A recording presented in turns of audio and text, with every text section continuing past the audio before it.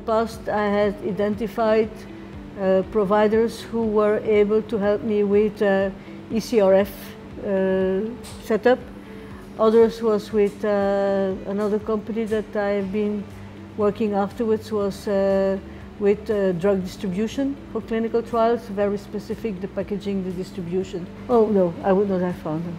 I, I, because I, I do not have the time to go and, and look for that. So here you have a, variety of elements that you would never even think of or that you don't know. So it's, it's a unique opportunity to, to diversify. Sometimes people call me or send an email and that goes into the spam. I have 250 emails in a day.